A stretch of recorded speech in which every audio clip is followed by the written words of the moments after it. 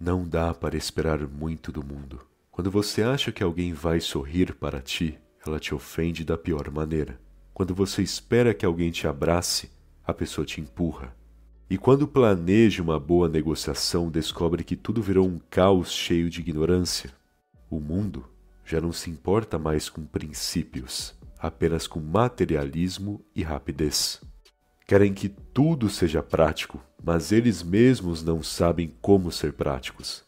Desejam, mas não são. Planejam, mas não possuem competência.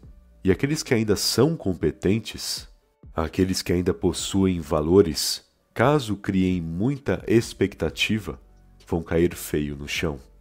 Pois nessa atmosfera insustentável, quem tenta carregar muito peso certamente perde o fôlego de maneira cruel. Aliás, só para deixar claro, por mais que pareça, não estou tentando ser pessimista. Até porque basta olhar para as suas experiências. Quantas vezes você esperou algo bom dos outros e só recebeu atitudes ruins?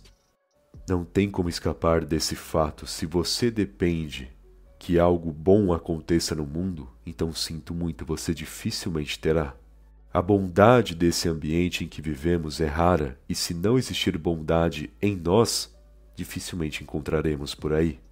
No fim, há tanto vazio hoje em dia, tanta falta nessa vida, que devemos usar a nossa vida para preencher essa falta.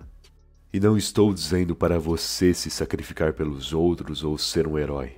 Mas se você precisa de bondade, seja você o bondoso. Se precisa de gentileza, seja você gentil consigo mesmo.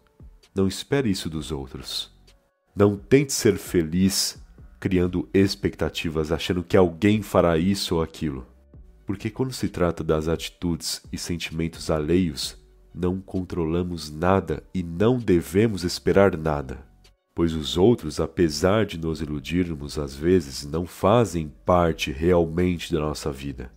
Eles podem adentrar na nossa história, ensinar ou fazer com que a gente sinta algo, mas você nunca irá controlar o outro. E se tentar isso, obviamente, fará com que a sua vida desande.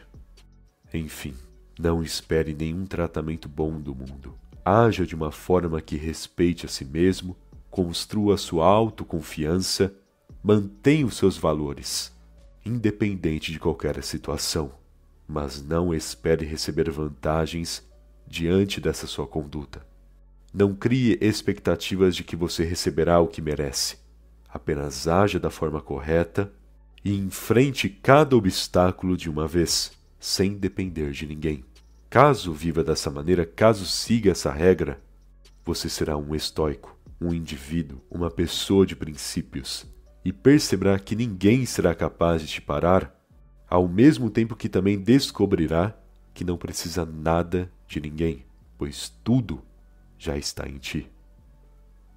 Bom, espero que essa mensagem tenha te ajudado. E se gostou do vídeo, deixe aquele like, por favor. Aliás, se ainda não for inscrito no canal que está esperando, se inscreve aí. Afinal, ajuda muito, não custa nada também.